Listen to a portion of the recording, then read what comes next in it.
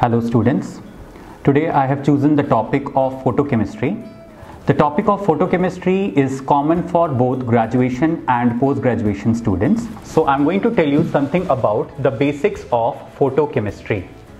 A very important branch of chemistry is photochemistry where we deal with the study of interaction of light with the matter.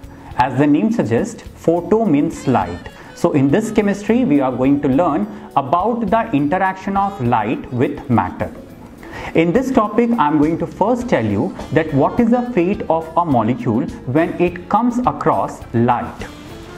I will take an example. This is our ground state. This is our excited state. There is a molecule in the ground state which gains light or absorbs light and moves to the excited state. From ground state to excited state, the transfer of molecule takes place only by absorption of light. So, the light in the form of energy is transferred to the molecule for its excitation. But the molecule being at excited state is not stable. Why? Because it is having high energy and energy is inversely related to stability. So the molecule tries to come back once again to the ground state.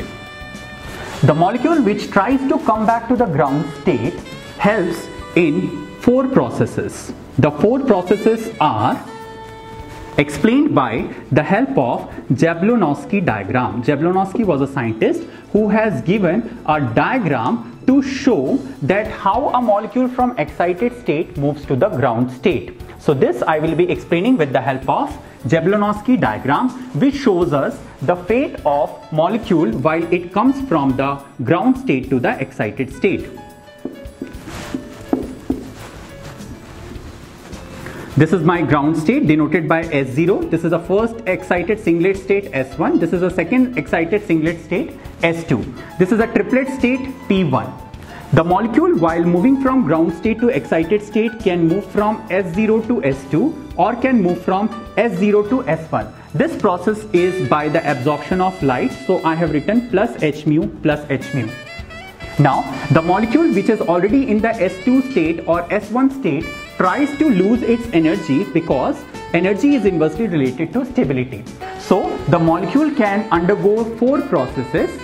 These four processes are first this process of the energy from S2 coming to S1 is called internal conversion. Internal conversion denoted by IC in shortcut. The second process where the excited state is converted into the ground state is the process of fluorescence. The third process of energy or the molecule which is present in the S1 state and coming to T1 state is called the inter-system crossing that is ISC and the fourth process of the molecule returning back is from the T1 to the S0 state called the phosphorescence. Out of these four processes, internal conversion, fluorescence, inter-system crossing and phosphorescence, the internal conversion and the inter-system crossing are the non-radiative processes and the fluorescence and the phosphorescence are the radiative processes. Now, the difference between the radiative and non-radiative process is the fact that in non-radiative processes like IC and ISC, the energy is lost in the form of heat. And in radiative processes like phosphorescence and fluorescence, the energy is lost in the form of light.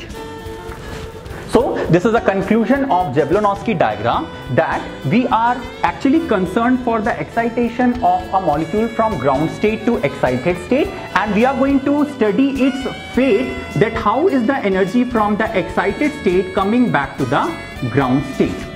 Now the excited state is basically of two types. First one is a triplet excited state and the second one is a singlet excited state.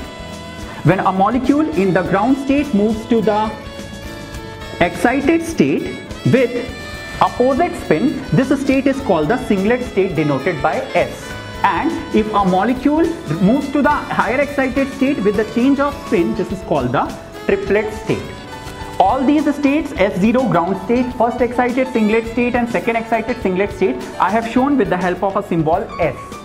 So wherever I have written S word they denote the singlet excited state and T state denotes the triplet state. When the molecule moves from singlet state to triplet state the spin changes that is why it is called spin intersystem crossing. Thank you students.